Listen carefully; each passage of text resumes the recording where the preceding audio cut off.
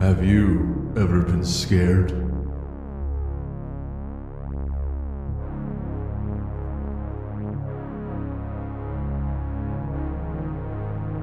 Been told a spooky story?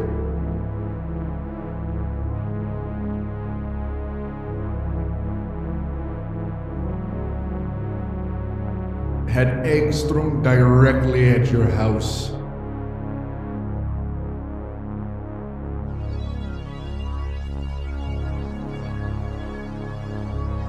Ran out of toilet paper in the bathroom.